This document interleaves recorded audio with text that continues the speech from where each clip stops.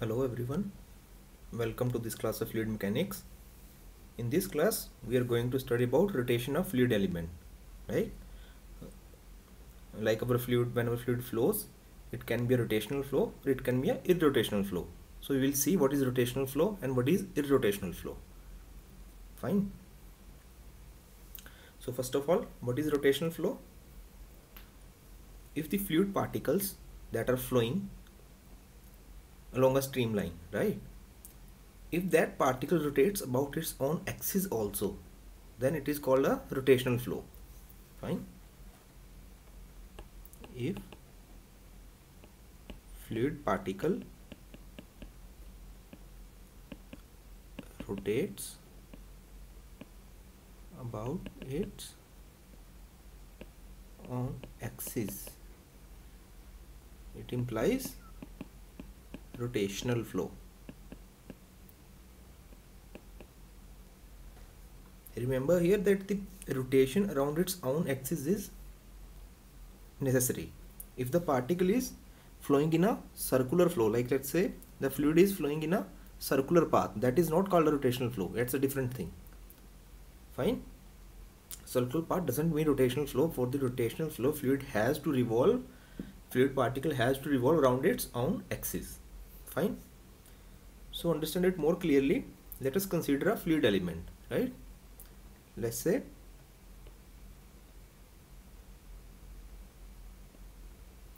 this is my reference coordinate axis xy axis right? And here this is my fluid element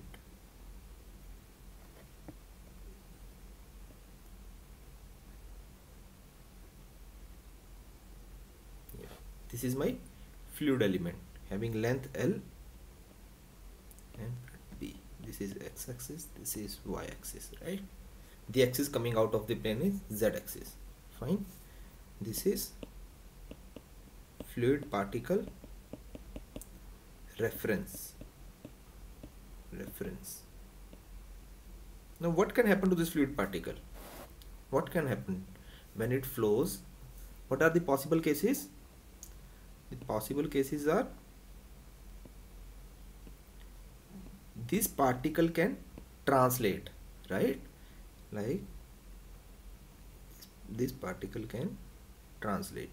Having same length and breadth L and B this particle can translate. So what is this? This is linear translation linear translation of fluid particle right? What's another case? Another case is this particle can deform linearly right? Like let's say this is the new length L dash and this is B dash. So now my particle has deformed linearly.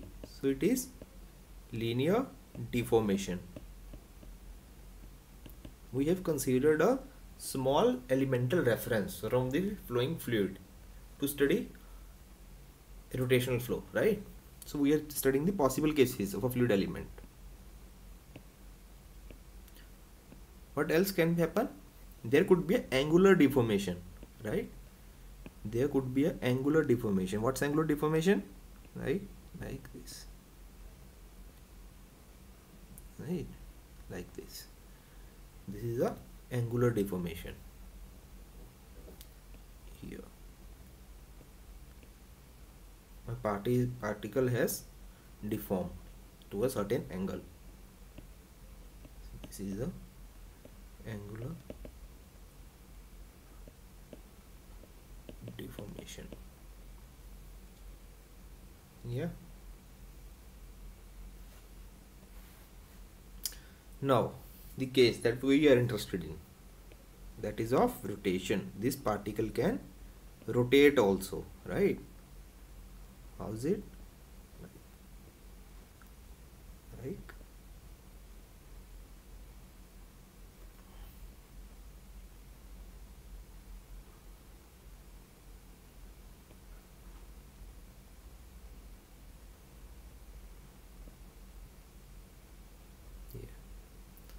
so the length is same the breadth is same with the initial reference. But this particle has rotated at a certain angle right? This theta this theta. This is rotation. Fine this is rotation. Now if I see here the angular deformation and I want to write the theta 1 and theta 2 what will be let's say this is theta 1 and this is theta 2 what will be theta 1 here? Theta 1 will be equal to what is this thing? Let's say this is the velocity with which uh, with which my fluid particle is deforming right? This this line is going upward so this is a y direction this is y direction this is x direction and let's say this is z direction right? This is z direction.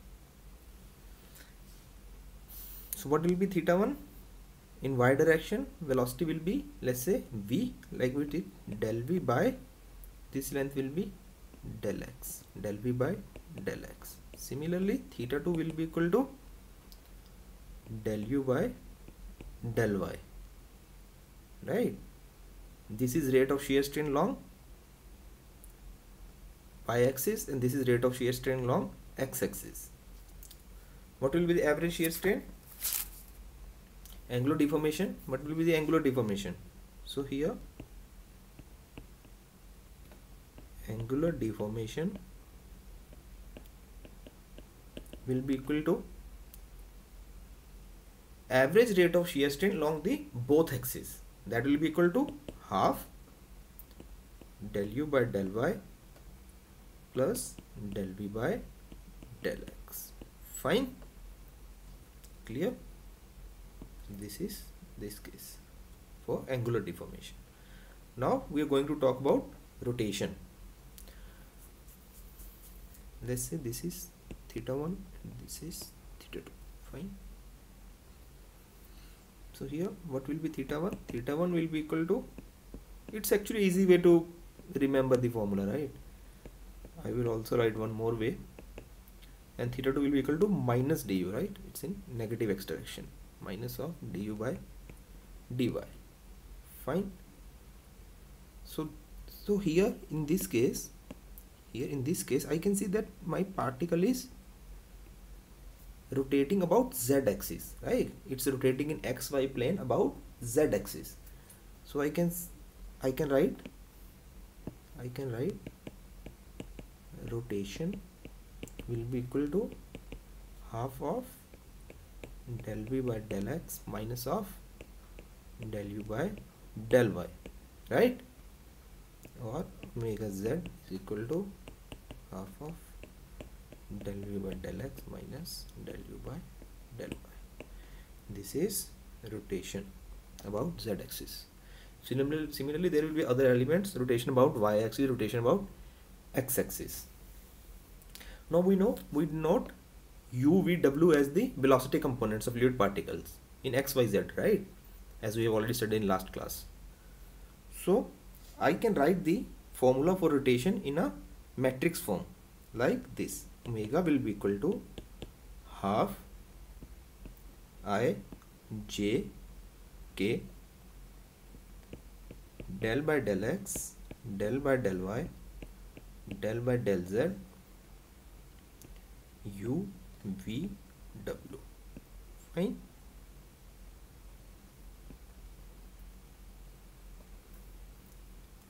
So you you if you remember this it will be very easy for you. This thing. Right?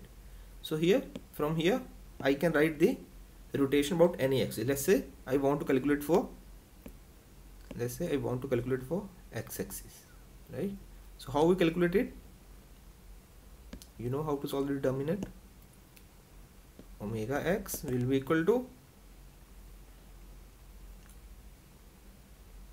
omega x will be equal to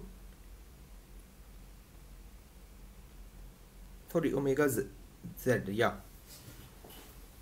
Omega x will be equal to del w by del y minus of del v by del z into half as it's here right?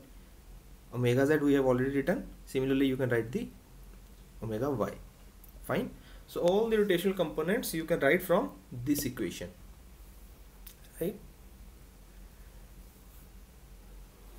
That is you can calculate you can find out the rotational element about x-axis y-axis or z-axis. Right? Now we came across one more term. We came across one more term that is vorticity. This vorticity? It is nothing but 2 omega. Or we can say that twice the rotation. Fine. Like here it was a half. So vorticity will be equal to i j k del by del x del by del y del by del z u v w. This is my vorticity. Fine now there is one more term called circulation. Circulation.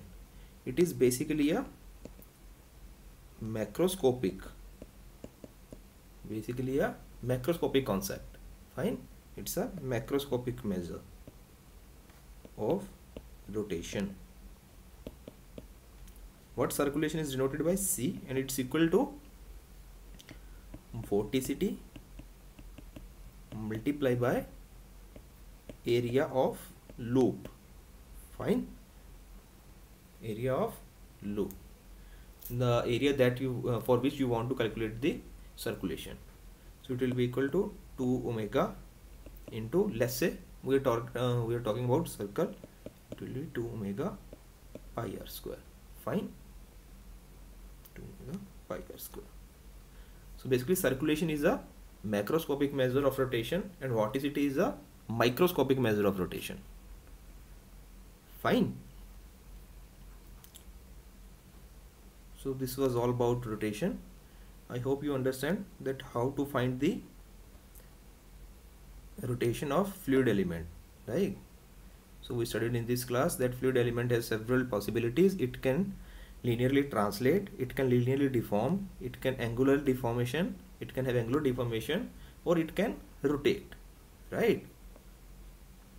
And we find out the rotation for fluid particle like how to find the rotational component along each, each axis for fluid particle. And then we studied about vorticity and circulation. I hope all concepts are clear to you. We will meet in next class